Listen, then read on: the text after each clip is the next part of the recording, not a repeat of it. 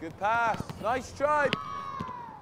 So just in terms of organisation, by the looks of it, the Blues, you'll start off with two players in this end, um, and the Reds have three. So just rotate round, okay? Just take it in turns. Have a look at what each other's doing. On that practice day, you can go inside or outside the mannequin, and then look at your shots. Okay, we talked about offsides before, so just think about that as you're playing. In the other half, um, obviously three servers, okay? When we flip that round, just have two servers. So it'll be a close range shot and a cross. That makes sense? Good, finish. Good, little close range one. Yes, Harley, come on. Good, you get three out of three. Oh, Gem lucky. Good, next one, play. Yes, Harley, come on, get a ball.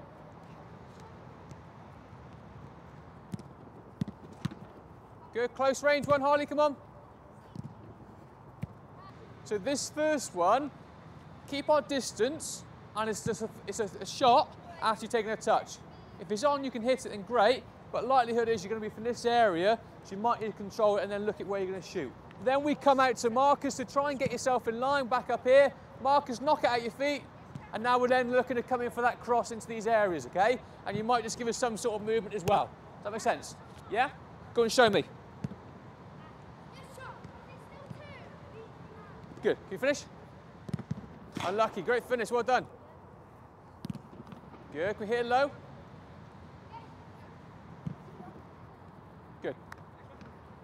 Good, good, good. Okay. These rebounds are really important. Jack does a little bit of movement there. I've got to try and stay in line, okay? Now, if I can try and get myself across here, I'm now looking to get into this position and he comes across and it might just be a little tap in if it comes off the keeper. Or if he goes wider, what else might he do? Cross the ball as well, okay? So we're just looking for those little areas of the pitch if we can. Be quick, you have to be quick. Finish. Well done. Just for a minute or so now, I want to be a little bit of a competition. You're going to get one point if you hit the target, okay? One point if you hit the target. Two points if you score.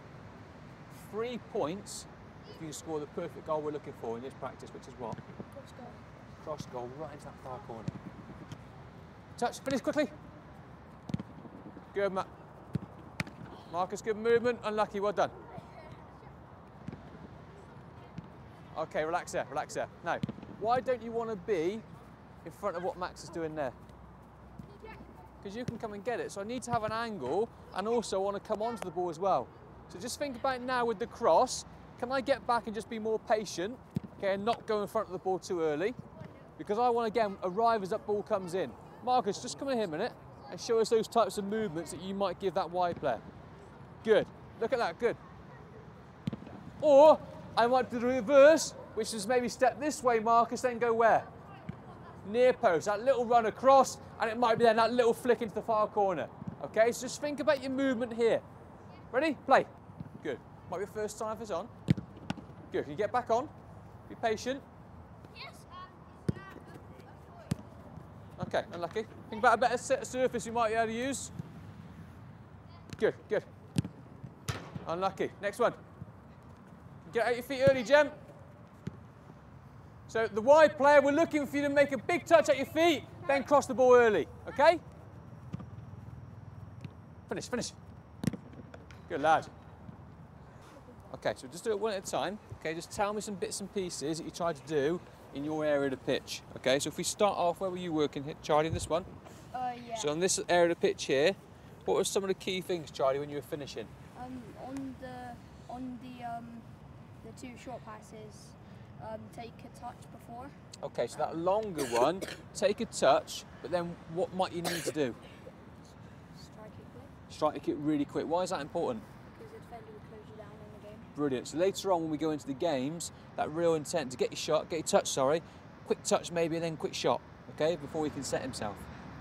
And when you're doing the crossing, time your runs and put some disguise in it. Okay. get This is and then get hard because the keepers are coming out. They, they can just reach him.